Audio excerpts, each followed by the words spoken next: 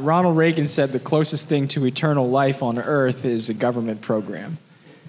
The deep state exists. It is a bureaucracy. It's, we, we call that the bureaucracy. Um, the bureaucracy compounds the bureaucracy. Bureaucrats have to create jobs for themselves, and then they have to justify its own, their own creation. This is why DEI exists, by the way. Why do you have DEI officers in Lee County schools? Why do you have DEI officers in businesses? Because somebody decided, oh, we need to do compliance here. And so they create a DEI program. And that DEI program no, so, serves no purpose except to perpetuate its self existence. And in this case, it's there's racism in the schools. We have to combat racism, so we have to create a DEI officer. And then that person gets paid a $100,000 salary to do absolutely nothing except to create more of the racism narrative.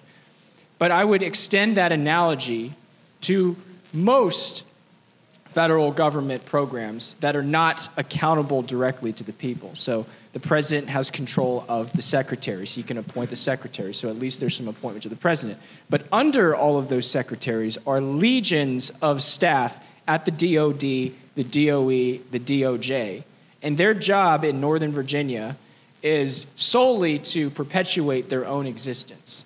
How hard is it, even if we said, even if we gave a public mandate to the federal government to dole out funds for schools? Let's say we passed a $190 billion authorization for schools, which we did during the pandemic. It was called the Pandemic ESSER Relief Funding.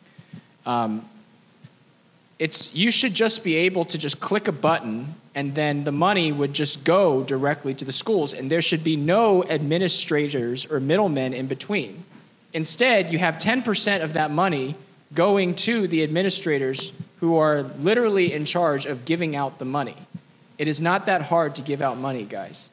That is what the deep state is. And then, worse yet, when you tie in the fact that some of these people actually have agendas and that they are not elected, um, but they are treated as if they're a self perpetuating existence, that's when you get the deep state, and that is what is hurting our country right now.